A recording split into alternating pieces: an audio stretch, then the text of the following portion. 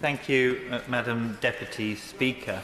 Um, when I was successful in gaining this uh, adjournment debate for livestock worrying, I was questioned by some of my more metropolitan colleagues about exactly what livestock worrying is, with many references about sheeps and whales, which I thought was rather unfair.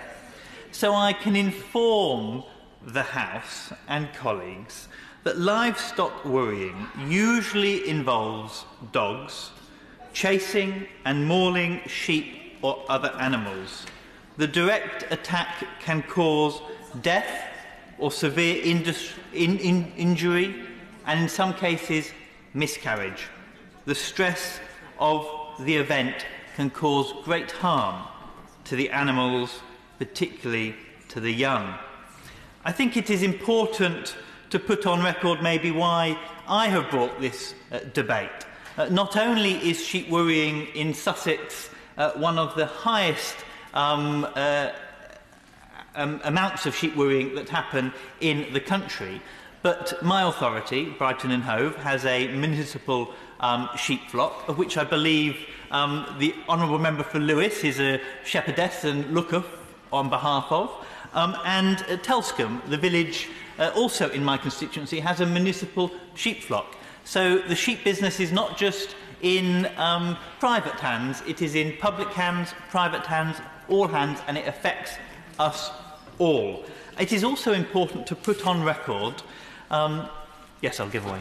I'm giving away. I'm not setting up to make an impassioned call for the nationalisation of all sheep farming. You'll be pleased to hear. Or maybe he wouldn't be. Um, I, I would congratulate them on getting this uh, debate. He's raised an important point that there is more sheep worrying and livestock worrying in, uh, in, in Sussex, where both his and my constituents have the opportunity to walk into open countryside. There's more sheep worrying going on there in the average year than there is in the whole of Scotland. That's not an acceptable situation. I'm glad he's got this debate to raise the concerns of many of our farmers. I totally agree with the Honourable Member. It is also important to put on record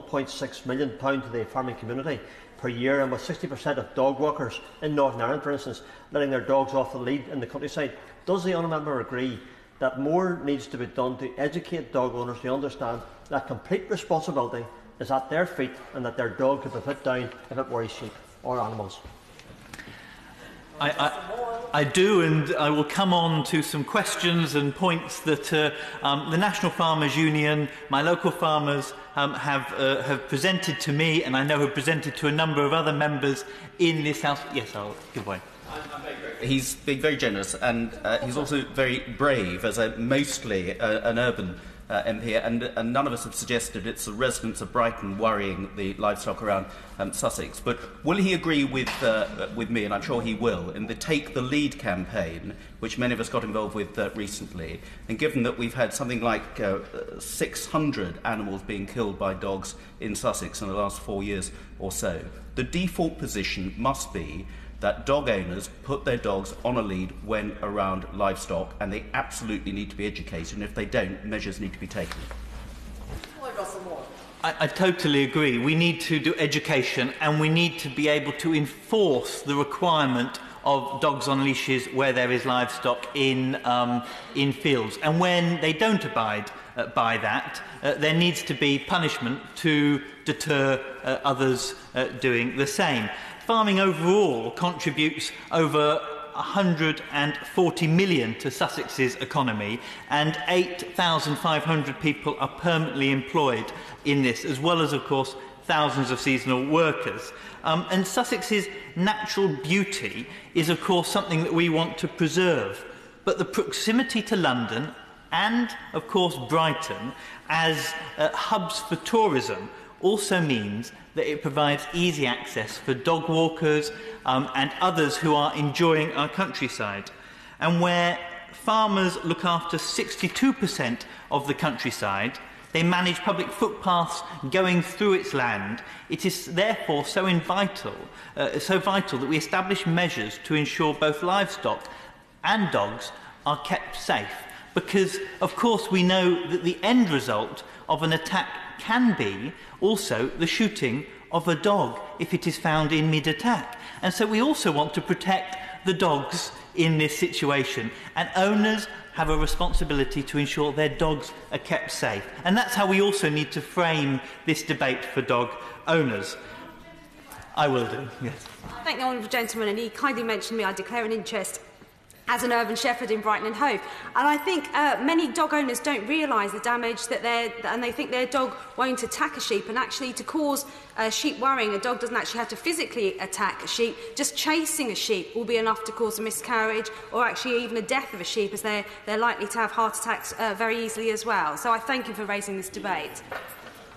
I, I totally agree with the Honourable Member. And the difficulty is most dog owners um, that I speak to will say, oh no, but my dog is perfect, he's a saint or she's a beauty, do nothing to harm anyone. But the reality is dogs are animals too, and they have uh, um, urges to play with other animals, and they think that the sheep are enjoying being chased around many of the times. It's not necessarily from a malicious, it sometimes maybe is, from the motivation of the dog.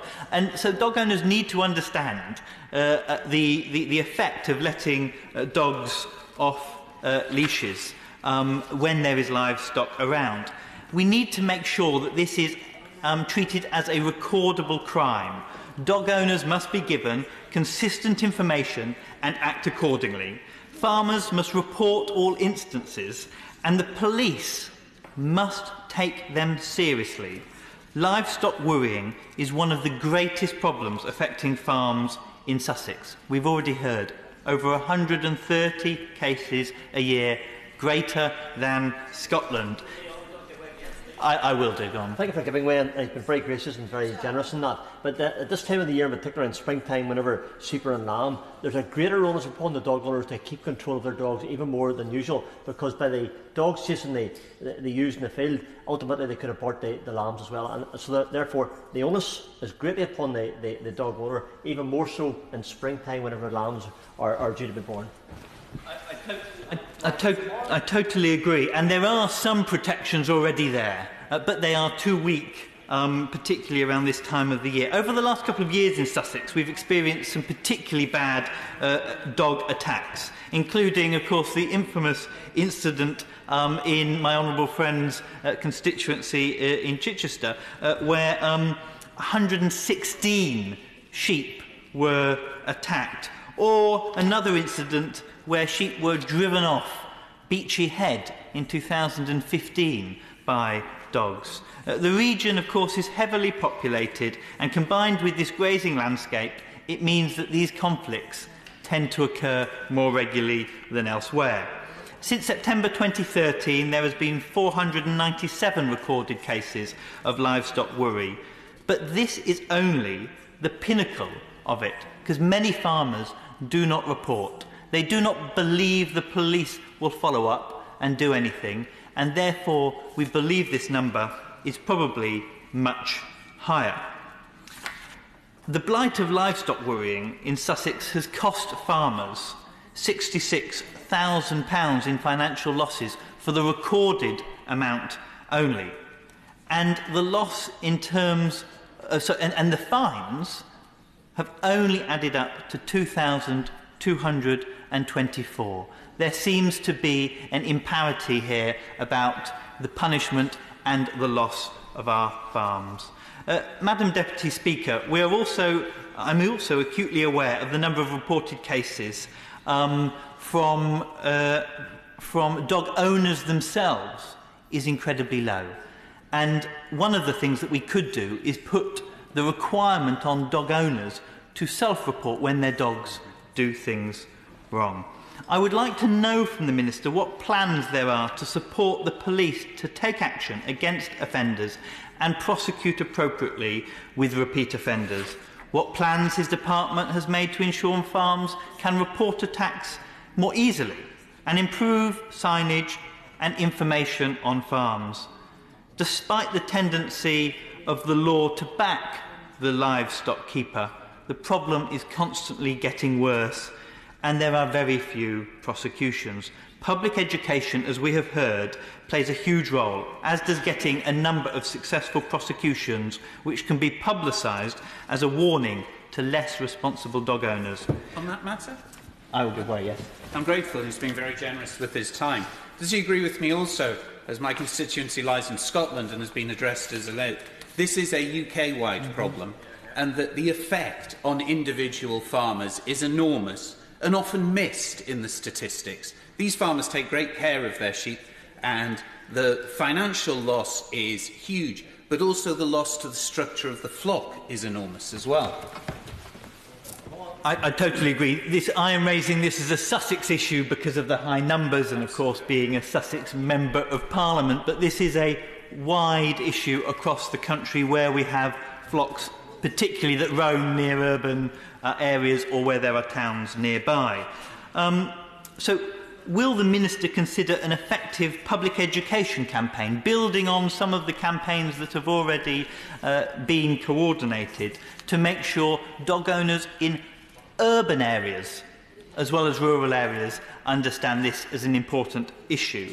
Um, some have called for the Minister to consider developing a dog DNA and DNA testing to help identify dogs. Now, whilst I think that might be going a little bit too far, it might be interesting to know what forensic kind of detail the, the, the, the department is thinking about uh, um, uh, employing to track down the people who uh, um, who, who commit this? And will the Minister consider changing the law, of course, so dog owners have the legal obligation to report livestock attacks?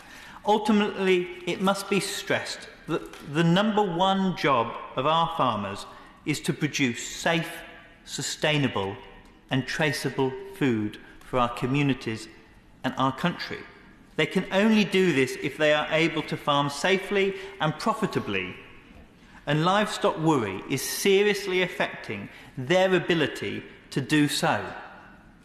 For small farmers in particular, livestock worry is devastating because of the huge impact of their productivity and it can set them back many, many months.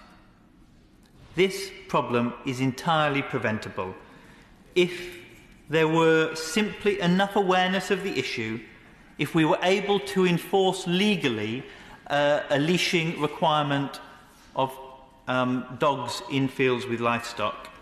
And if we were able to make sure the police dealt with this effectively, we might be able to stamp this out and support our farming communities. Thank you, Madam Deputy yeah, Speaker.